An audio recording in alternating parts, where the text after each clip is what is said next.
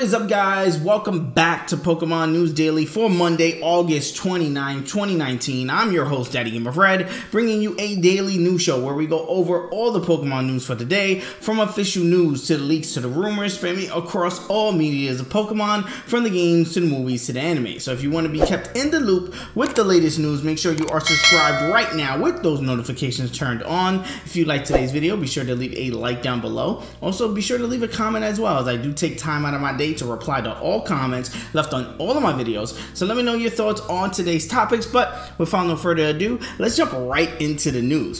Firstly, we're going to be talking about Pokemon Go. And this is coming from the official Pokemon Go Twitter account. It says, Attention trainers, the limit on Pokemon storage has been expanded to 2,500, which is an increase to the previous limit of 2,000. Players are still required to pay 200 Pokecoins, Pokemon Go's in-game currency, for 50 item slots until the players hit the item limit of 2,500. I think this is great. I know a ton of players has been asking for this, more space for items in the game. Myself, I really never have issues about the item limit. If I do hit it, I just toss a couple of berries or whatever. But I know there's players out there who go through tossing items daily, and this is a great thing. Niantic is listening to what the community wants and what the community needs, and is slowly rolling out features like this to the players. So this is pretty cool. Again, while we're talking about Pokemon Go, Niantic also announced today the next level 5 raid boss after Armored Mewtwo leads raid battles this Wednesday. It's one that we have been waiting for. Rayquaza will replace Armored Mewtwo with its shiny variant finally being available. Rayquaza level 5 raids will last until September 2nd. I love this, I love this, I love this. They did a little shiny Rayquaza trailer where they show the shiny version of Rayquaza flying in space and it flies down and like enters Pokemon Go. You see all the Pokestops and stuff like that. I thought it was pretty cool. I know the community has been hungry for this shiny. I believe the last time Rayquaza, first time Rayquaza came wasn't shiny, and then it popped up again and still wasn't shiny. A lot of the community had a, like a backlash about it and just was like basically asking for the shiny. Now we got it. I think it's pretty cool the way they did it. They, you know, they launched it with a trailer, which was again to me is pretty cool. They also had like a tease on Twitter saying soon and had like black moons, and everybody was trying to figure out what exactly that meant. But it meant that we were getting shiny Rayquaza, which is pretty cool. Now the next news story for today is about the upcoming Pokemon World Championship and this is coming from Pokemon.com. It says 2019 Pokemon World Champion Spectator Activities. There are plenty to do at the annual Pokemon World Championship even if you don't plan to participate in the main event. The 2019 Pokemon World Championship will offer even more than before.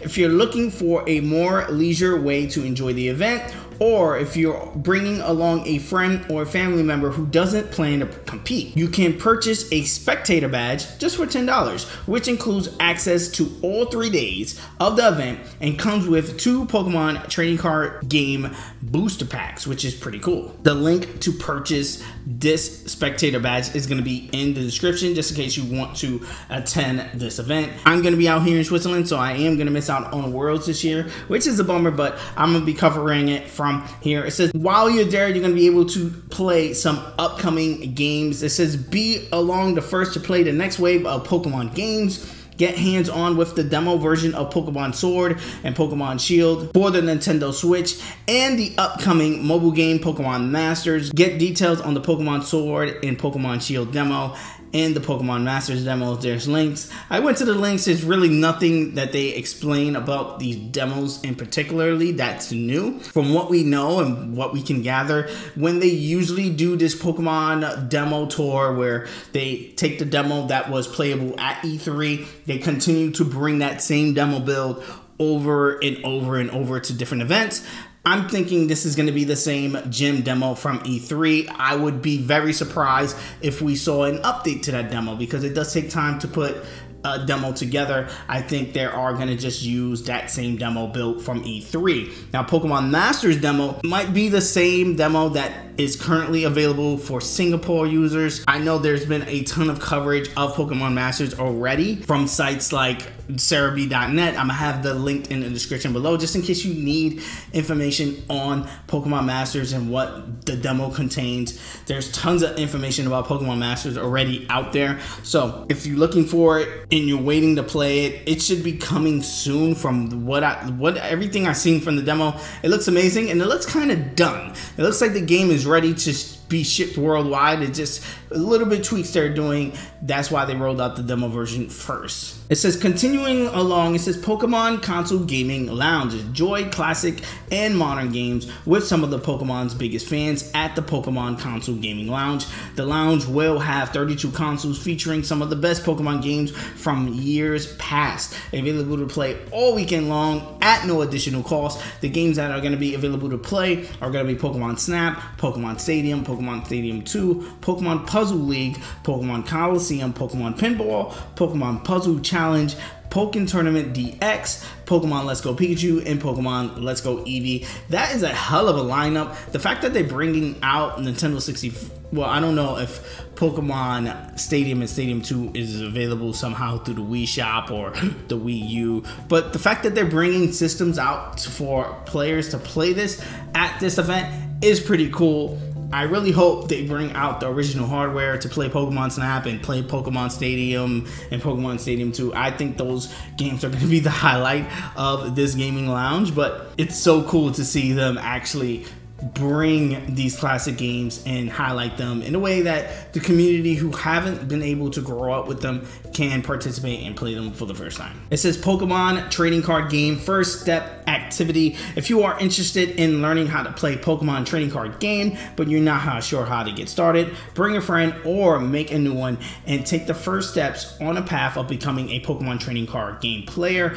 In this activity, players will build their first deck and then battle a friend with the help of a guide. I think this is pretty cool. Again, if you are interested in joining the trading card game family and you don't know where to start and you're heading to Pokemon Worlds anyway, this is going to be a great way to just learn how to build the deck and understand the language of the Pokemon trading card games. It says, see the experts play Pokemon. It says players from over 40 countries will be competing for over 500,000 in prizes during the weekend. Come to be a part of the attendance and cheer on the best players in the Pokemon trading card game, the video games, and the Pokken Tournament DX competitions, which again, are the main event of Pokemon Worlds, but they're also side events. It says you can get into the action without joining the main events by competing in some of the hundred of smaller side events that will take place inside of the hall. Competitors can earn tickets to redeem for fun Pokemon prizes at the Pokemon prize wall. Most events last between one and three hours, so they are easy to fit inside of your schedule if you're going to Pokemon Worlds. Pokemon Center, it says come check out the Pokemon Center pop-up shop available during show hours at the event. Get awesome plushies, apparel, and other merchandise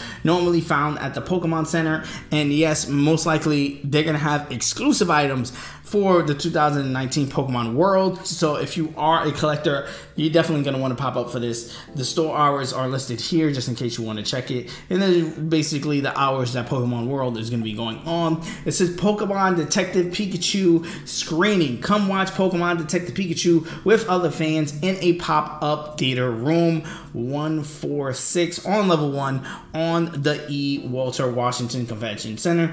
This screening will use the special detective mode from the new home video release. Screening times are below. They're going to be one at Friday and one on Saturday. I think this is pretty cool. You basically chill with a ton of Pokemon fans and watch the Detective Pikachu movie, but the home release version that has a detective mode. I'm not sure what this detective mode is, but it basically looks like they're gonna just pop a DVD in and you guys are gonna be able to watch Detective Pikachu with this mode on. Sounds pretty cool. And then they're also gonna have VIP signing during the weekend. VIPs will be available for signing at Pacific hours. As you guys know, signing basically signing their autographs to the public. Who's gonna be there? Masuda and others from the Pokemon company. I'm not gonna try to butcher these names. As you guys know, I'll probably have their faces up on screen so you guys can see, but they're gonna be there at Pokemon World doing autographs. So if you want to get like a Pokemon game signed or whatever the case may be, you can do that at the 2019 World Championship. Now, the final news for today is regarding the Pokemon World's theme.